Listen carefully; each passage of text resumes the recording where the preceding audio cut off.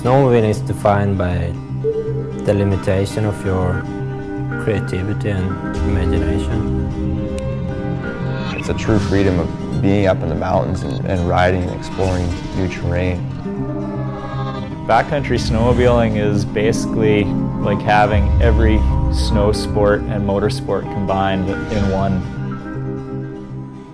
There's so much more that goes into it than anybody can ever imagine.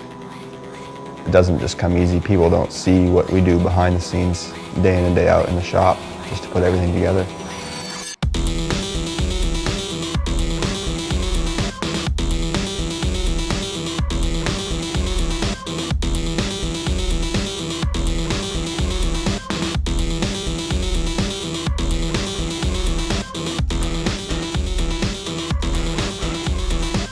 We're pushing boundaries that we're not even sure of where they're at because we haven't been there yet.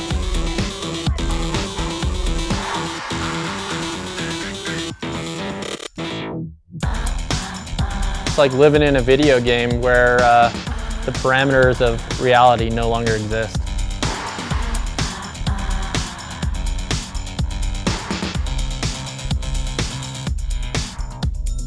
Basically, if you turned a three-inch fire hose onto you and tried to stand up against it, that's what we deal with every weekend. People don't have a clue. You can't get it from TV or pictures. The team's putting in a bunch of effort to give you on good equipment, so uh, you have to be 100%. It's almost like a double-edged sword. Once you start getting your great confidence coming out, then you begin to have a target on your back. If you didn't have the risk, they would just throw me.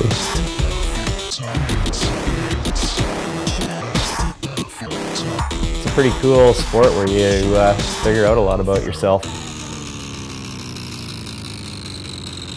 I could have told you that was going to happen, dumbass!